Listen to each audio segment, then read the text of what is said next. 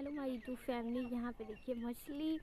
ये हमारे घर पे गाँव में जो मतलब मेरे घर पे ही पालन होता है मछली का। तो यहाँ पे वो मरा रहा है। मरा रहा है, क्या हो रहा है, ये मुझे नहीं समझ आ रहा, लेकिन मैंने सोचा आप लोग को भी एक ब्लॉग बना के दिखाएँ कि हमारे घर पे मछली है। चलिए आइए आगे आगे जो ट्रक में इस्तेमाल किया जा रहा है, उसका भी हम ब्लॉग दिखाते हैं आपको। जो है, देखिए, यहाँ पे। यहाँ पे कितनी बड़ी बड़ी मछली है। देखिए देखिए देखिए देखिए। और यहाँ पे वो लोग लेके जा रहे हैं। देखिए, कितनी कितनी बड़ी मछली है रान फिर इसको उसमें भी डाल दिया और ये यहाँ पे भी ट्रक में लोड कर दिया है। इसके हाथ में लेके कैसे डाल